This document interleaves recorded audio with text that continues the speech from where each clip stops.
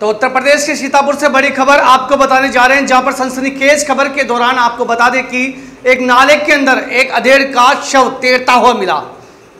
नाले के अंदर मिला अधेड़ का शव। संदना थाना क्षेत्र के बड़ी कुशोली निवासी सुरेश उर्फ़ पुत्र मायाराम, उम्र 45 वर्ष बताई जा रही है, जो कि संदना थाने के मुख्य गेट पर बनने में बीती रात को गिरकर मौत हो गई। राहगीरों और आसपास के लोगों ने जब उसको दूसरे दिन समय साढ़े चार पर देखा तो भीड़ का जमावड़ा होने लगा। ग्रामीणों की माने तो कल रात नौ बजे थाने के गेट पर नशे की हालत में बैठा था, तभी यह गिर गया।